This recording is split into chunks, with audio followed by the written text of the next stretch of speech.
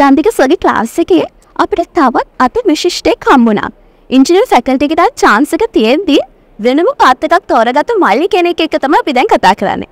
මල්ලි, වගේ නම මොකද්ද? මම ඩිහාන් ලක්තිල් ඔව් මල්ලි. මම දැනගන්න කැමති ඇයි ඔයා ඔයාගේ පාත් එක කියන්නේ දැන් ඉංජිනේරින් ෆැකල්ටි එකට යන්න chance එක තියෙද්දි ඇයි ඔයාගේ පාත් එක වෙනස් කළේ වගේ මුත් සර්ගෙන් වගේ මේ පාත් එකට යන ලැබිච්ච සපෝට් එක මොන වගේද කියලා. ඇත්තටම මට එලවල්ස් පටන්ගත්ත කාලෙදං ආසාවක් තිබ කෙමිස්ටි කරන්න. එතට මට ඉන්ජිනීරින් යන්න පුළුවන් වුණත් මම එලස් වරලා මට ත්‍රියස් තිබත් මම කෙමිස් කළම් ෆිසිකල් යන්න තොරගත්තා ඔකද මට කෙමිස්ටි කරන්න ඕන නිසා.